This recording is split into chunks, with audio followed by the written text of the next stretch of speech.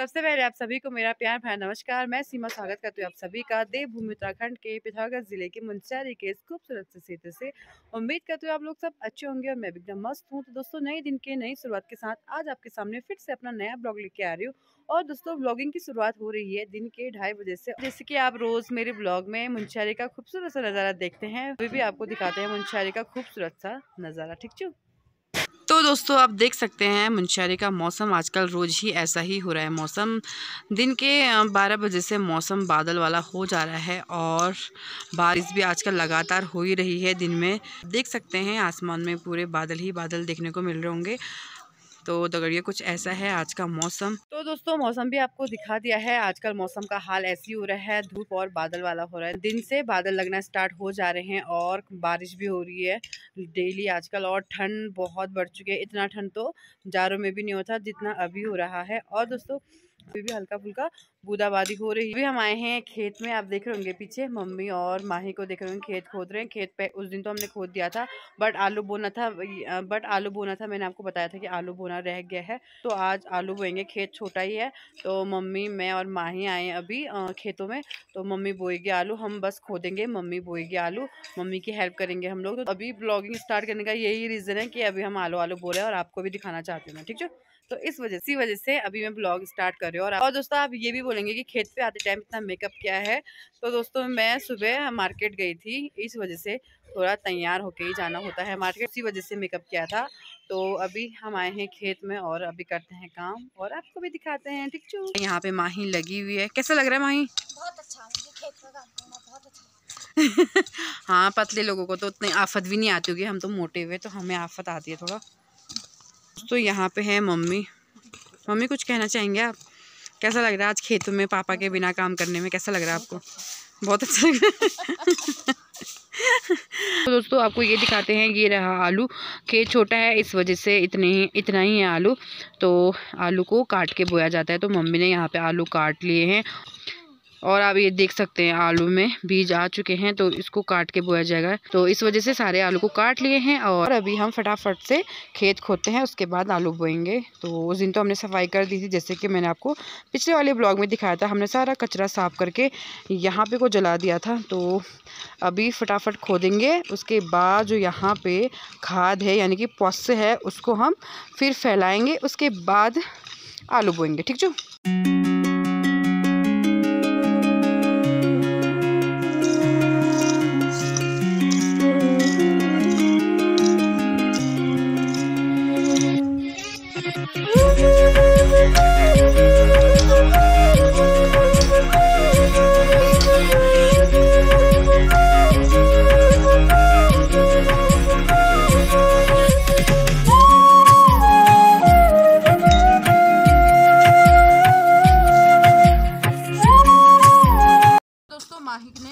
बाद माही थक चुकी है तो अभी मेरी बारी आई है हम बारी बारी से खेत खोल रहे हैं ताकि थकान किसी एक को ही ना हो मतलब दोनों को बराबर थकान हो और दोनों को ज़्यादा मेहनत भी ना करना पड़े। इस वजह से अभी माही थक चुकी है तो मैं खोल रही हूँ।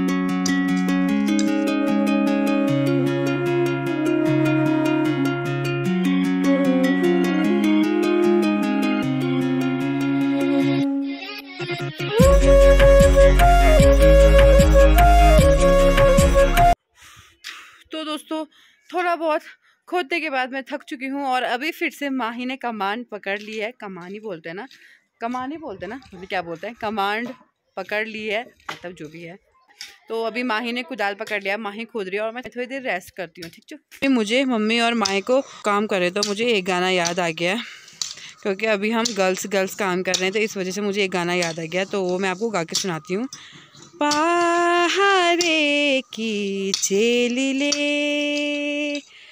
पहारे की बारिले कबेनी खाया दुईवटा सुखेले कबेनी खाया दुईवटा सुखेले दोस्तों, आलू तो कम ही थे बीज के लिए, इस वजह से खेत भी थोड़ा कम ही खोदना था और खेत खुद चुका है। तो अभी यहाँ पे आपको दिखाती हूँ मैं।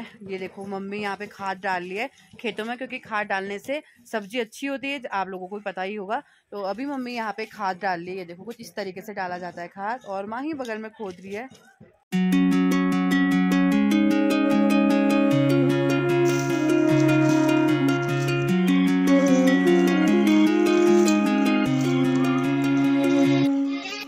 呜呜呜呜呜。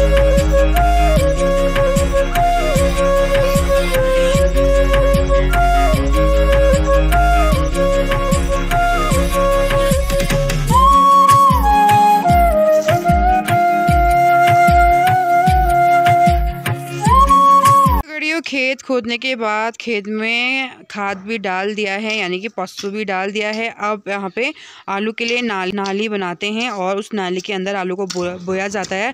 तो अभी आपको दिखाते हैं इतने में ही बोना है हमने आलू।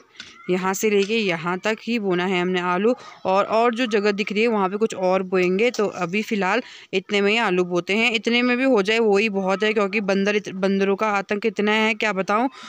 आपको मैं बता भी नहीं सकती, बहुत सारे बंदर आते हैं और खा जाते हैं, इस वजह से थोड़ा बहुत ही, थोड़े बहुत में ही बो रहे हैं। इतना भी हो जाए वही काफ़ी है। अपने खाने लायक तो हो ही जाएगा, अगर होना होगा तो इतने में भी बहुत हो जाएगा। देख सकते हैं, मम्मी नाली खोदने मतलब मम्मी नाली बनाने लग चुकी है आलू के लिए। आप देख रहे होंगे, पतली सी नाली टाइप की, और इसी के अंदर आलू को डाला जाता है और फिर इसको अच्छे से ढक दिया जाता है। पहले तो खेत में अच्छे से नाली को बनाया जाता है। ये देखो, इस तरीके से। माही तुम क्यों नहीं बना रहे हो? तुम भी बनाओ। ये देखो, आप देख सकते हैं, इस तरीके से नाली बनाया जाता है।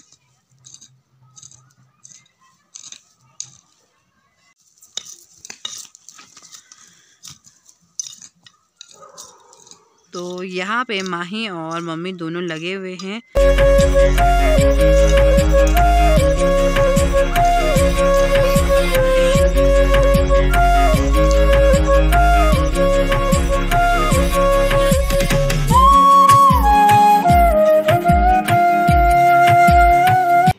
बनने के बाद अभी नाली के बीच में आलू को इस तरीके से डाला जाता है।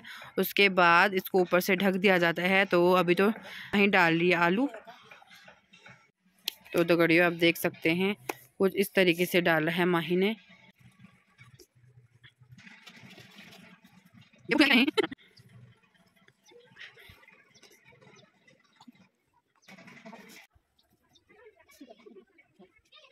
वीडियो आप देख सकते हैं, सारे नालों में यहाँ पे माही ने आलू भर दिए हैं। अब इस नालों को ढकने की बारी है। तो मम्मी यहाँ पे नाला भी ढक रही है मिट्टी से। सकते कुछ इस तरीके से ढका जाता है।